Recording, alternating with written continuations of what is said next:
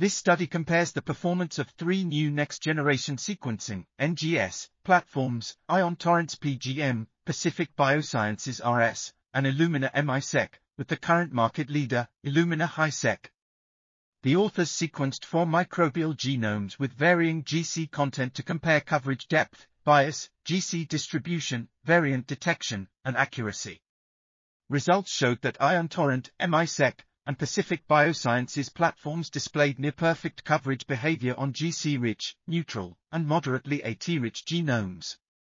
However, a profound bias was observed when sequencing the extremely AT-rich genome of Plasmodium falciparum on the PGM, resulting in no coverage for approximately 30% of the genome.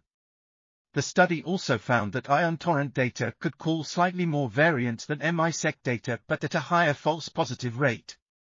Variant calling from Pacific Biosciences data was possible but required higher coverage depth.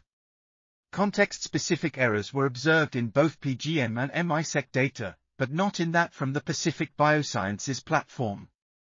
The authors concluded that all three fast turnaround sequences evaluated were able to generate usable sequence, but there are key differences between the quality of that data and the applications it will support. This article was authored by Quail Michael A. Smith Miriam, Coupland Paul, and others.